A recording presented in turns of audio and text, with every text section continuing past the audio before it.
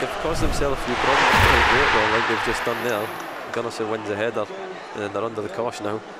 Kenny, midway inside his own half, moves forward, plays it through the centre circle to Johansen. Little bit of space ahead of him. Plays it forward, looking for Kenny. Tried the shot, well blocked by Ralls. And Cardiff get it away, but not very far. McDonald midway inside the Cardiff half. Slots it forward. Looking for Johansen. A chance here in front of Oh, goal. That's gone in. It's the equaliser, and it's Kebano who's got it. And I think McGregor was wrong footed then. It's 2 2.